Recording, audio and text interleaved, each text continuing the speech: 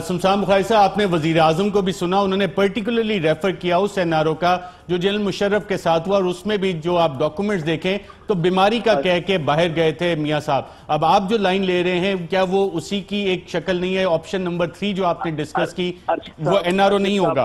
अरशद साहब मैं माशाल्लाह आप बहुत अक्लमंद आदमी हैं। मैंने आपको तीन चीज़ों का ज़िक्र किया।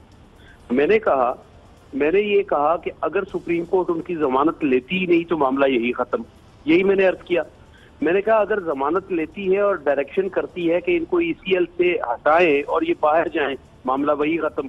तीसरी चीज़ ये है कि जमानत अगर अगर सुप्रीम कोर्ट लेती है और कहती है कि हुकूमत फैसला करे तो उनकी सेहत की हालत को देख के उसमें किया जाएगा। अगर वो नहीं करते, बात ये है, इसमें एनआरओ की तो बात ही नहीं है। एनआरओ तो ना वो कह रहे हैं, ना हम कह रहे हैं।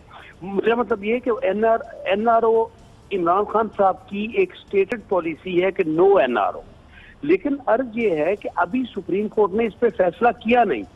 मुझे सिर्फ़ एक सवाल का जवाब चाहिए पीएमएलएन से, कि जिन अस्पतालों को उन्होंने 40 साल कहा कि ये बहुत अच्छे हैं मियाँ शहबाज शरीफ साहब उनकी तारीफ़ करते रहे, उन डॉक्टरों की तारीफ़ करते रहे, और अभी भी जो मैंने इंफॉर्मेशन ली है, वो कहते हैं कि पूरी दुनिया में जो दिल का इलाज पाकिस्तान में हो सकता है उससे बेहतर कहीं नहीं हो सकता सेम हो सकता है। तो फिर उनकी ये जो बाहर जाने की जिद है, या या अपने आप को कि जी, मैं बीमार हूँ, मगर मैंने इलाज यहाँ नहीं कराना। इसका जवाब तो मुझे नहीं देना चाहिए पीएमएलएन को देना चाहिए। राइट सुमसाम बुखारी साहब इस पे एक और सवाल आपसे मैं चलते चलते करता चलूँ।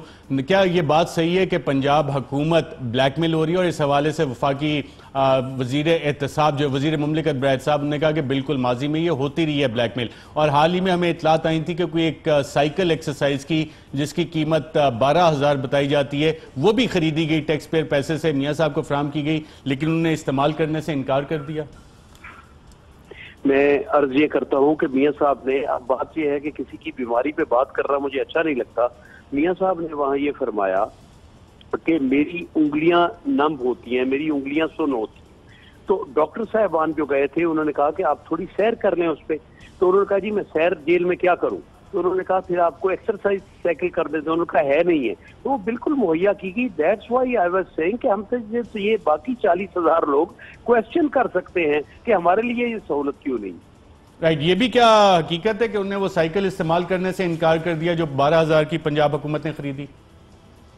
मुझे साइकिल जाने का पता ज़रूर है मगर मुझे इसका पता नहीं है कि इनकार किया या किया। मेरा ख्याल इनकार ही किया होगा। जब इलाज से इनकार करें लेकिन इस पर मैं कंफर्म नहीं कर सकता।